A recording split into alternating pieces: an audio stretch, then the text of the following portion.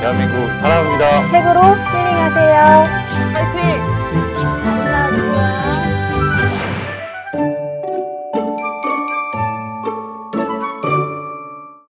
안녕하십니까? 책은 위대한 천재가 인류에게 남긴 유산이라 합니다. 저는 그 유산을 물려받아 책 읽는 성파에 걸맞는 가족 독서 나눔 대회를 해마다 주관하며 행복한 마을 만들기에도 잘 사용하고 있는 잠실 사동 주민자치위원장 조현경입니다. 네, 오늘 소개할 책은 고은 시인의 짧은 시 185편을 묶은 시집 순간의 꽃입니다.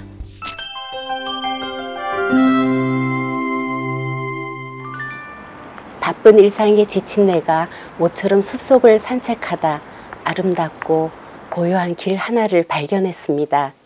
그 길에는 이름 모를 들풀과 예쁜 꽃들도 있고 흙내음도 발끝으로 올라옵니다. 순간의 꽃에는 그런 감동적인 언어의 숲길이 있어 추천합니다. 온종일 장맛빛 맞는 거미줄 너에게도 큰 시련이 있구나. 죽은 나뭇가지에 매달린 천 개의 물방울 비가 괜히 온 게 아니었다. 노를 젓다가 노를 놓쳐버렸다. 비로소 넓은 물을 돌아다 보았다.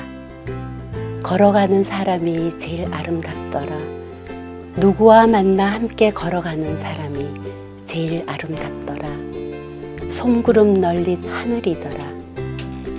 내려갈 때 보았네. 올라갈 때 보지 못한 그 꽃. 내 평범한 순간들의 소중함을 시를 통해 발견하며 깊은 성찰과 깨달음을 마주하게 되었습니다. 감성이 따뜻한 친구를 만나 얘기하듯 잔잔한 울림이 있어 쉽사리 시집에 눈을 떼지 못했죠.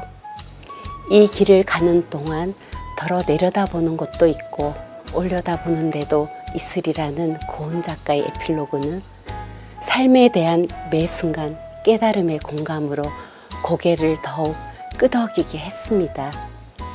비는 메마른 대지를 적시고 낙엽은 메마른 감성을 적시고 책은 메마른 생각을 적십니다. 하루 20분, 한 달 두 권, 책 읽는 성파 구민들께 향기 나는 나의 도서를 2017년 새해 행복으로 가는 길 위에 바칩니다. 행복하세요.